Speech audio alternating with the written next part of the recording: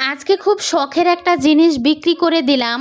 নিত্যপণ্যের যেভাবে দাম বাড়ছে, আমাদের মতো মধ্যবিত্ত যারা আছে, তাদের তো শহরে টিকে থাকাই মুশকিল হয়ে দাঁড়িয়েছে।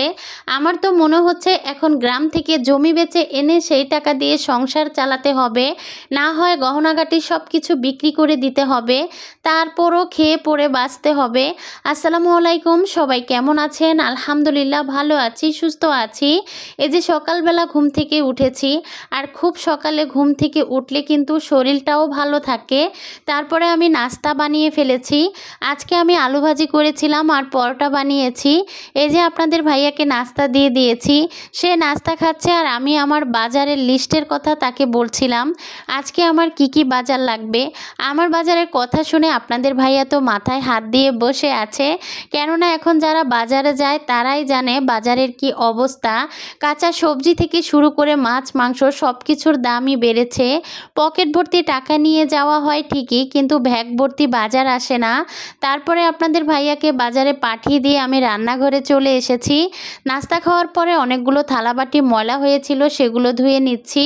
তার পরপরই আপনাদের ভাইয়াও চলে এসেছে। আর এই যে বাজার নিয়ে এসেছে, এখানে নাকি দুশো টাকার বাজার। বিশ্বাস হয়, বলেন তো? এখানে দুই মুঠি লাল শাক নিয়ে এসেছে, বেগুন নিয়ে এসেছে, আর নিয়ে এসেছে আধা কেজি পেঁয়াজ। আর এই যে দুই মুঠি লাল শাক দেখছেন, এখানে নাকি ষাট টাকার লাল শাক, অথচ একটা সময় এই লাল শাকগুলো বিশ টাকা দিয়ে আনা গেছে। আর এই যে বেগুন দেখছেন, বেগুনের নাকি কোনো গুণ নাই। আর এখন সেই বেগুনের দামই হচ্ছে দেড়শো টাকা। যাই হোক, এখন আমি তরকারি কেটে নিব। আর এদিক দিয়ে আমার আলুগুলো তেলাপোকা খেয়ে একদম শেষ করে দিয়েছে। এই আলুগুলো তো এখন ফেলে দিতে হবে। তারপরে এখানে আমি আলু বেগুন খুব ভালোভাবে কেটে নিচ্ছিলাম। আজকে আমি শুটকি রান্না করব। আমার বাসায় আমার মামা এসেছিল, অনেকগুলো শুটকি নিয়ে এসেছে আর আমি এখনও শুটকিতে হাত দিইনি। তো আজকে প্রথমবার শুটকি রান্না করছি। তো আলু বেগুন দিয়ে শুটকি রান্না করলে আপনাদের ভাইয়া খেতে খুবই পছন্দ করে, আমার দুই ছেলেও পছন্দ করে। তো আজকে আলু বেগুনের তরকারি আর এই লাল শাকই ভাজবো। তারপরে আমি বেগুনটা তাড়াতাড়ি করে ধুয়ে নিচ্ছিলাম। বেগুন কাটার পরপরই আমি খুব সুন্দর করে ধুয়ে নেই, না হয় কিন্তু বেগুনটা কালো হয়ে যায়। আর বেগুনগুলো ধোয়ার সময় আমি খুব ভালো করে দেখে নিচ্ছিলাম যাতে কোনো পোকা আছে নাকি। কিন্তু আজকের বেগুনে কোনো পোকা ছিল না, বেগুনগুলো ভালোই ছিল। তো তারপরে আমি লাল শাক কেটে নিচ্ছি। লাল শাক কাটা হয়ে গেলে এখন আমি লাল শাকটা ধুয়ে নিব। আর আজকের লাল শাকে অনেক বেশি বালু ছিল।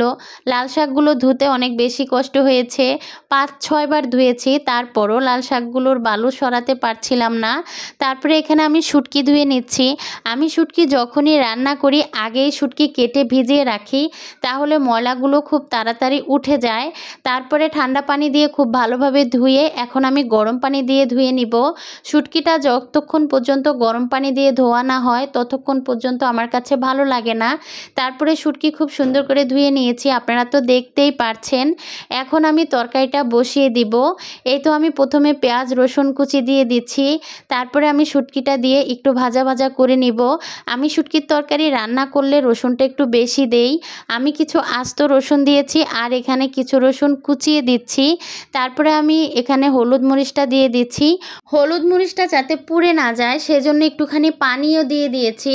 এখন মশলাটাকে খুব ভালোভাবে কষিয়ে নিব। তারপরে এখানে বেগুনগুলো দিয়ে নেড়ে চেড়ে একদম মিশিয়ে দিচ্ছি। আর তরকারিটা ঢেকে পাশের চুলায় দিয়ে দিয়েছি। এখন এই চুলায় আমি লাল শাকটা ভাপ দিয়ে নিব। লাল শাকটা ভাজি করলেই বেশি ভালো হবে। আর আজকের লাল শাকগুলো অনেক সুন্দর ছিল।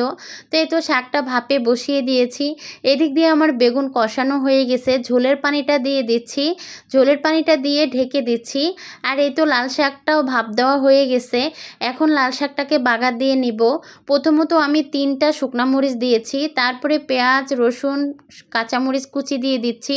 এখন এগুলোকে একটু লাল লাল করে ভেজে নিব। আমি যে কোনো শাকভাজি করলেই শুকনা মরিচটা দিতে হয়। শুকনা মরিচ ছাড়া আমার শাকভাজি খেতে ভালোই লাগে না। তো এই তো লাল শাকটা দিয়ে দিচ্ছি আর এখন খুব সুন্দর করে ভাজা ভাজা করে নিব। আর এদিক দিয়ে আমার শুটকির তরকারিটাও হয়ে গেছে, নামিয়ে নিচ্ছি। আর আপনাদের ভাইয়ার জন্য বক্সে করে একটু শুটকির তরকারি তুলে নিচ্ছি।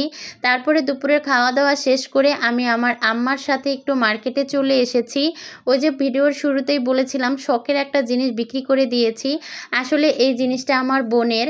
আমার বোনের যখন বিয়ে হয় তখন এই জিনিসটা আমাদের বাড়ি থেকেই দেওয়া হয়েছিল। আর সেই জিনিসটাই আজকে বিক্রি করে দিচ্ছি। দিচ্ছে, আমার বোনের জামাই নতুন করে বিজনেস দিচ্ছে, আর সেই ব্যবসার কাজে অনেকগুলো টাকার প্রয়োজন সেই জন্যই এই জিনিসটা বিক্রি করা।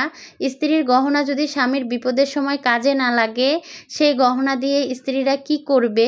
তো আমাদের অনুমতি নিয়েই এই গহনাটা বিক্রি করা হচ্ছে। কিন্তু জিনিসটা বেচতে এসে আমার অনেক বেশি মন খারাপ হচ্ছিল। তারপরে টাকাগুলো হাতে নিয়ে গুনে দেখছিলাম। তারপরে আমি আর আম্মা মার্কেট থেকে চলে এসেছি। আর আজকের ভিডিওটা আমি এখানেই শেষ করছি। এতক্ষণ ধৈর্য ধরে ভিডিওটা দেখার জন্য ধন্যবাদ সবাইকে।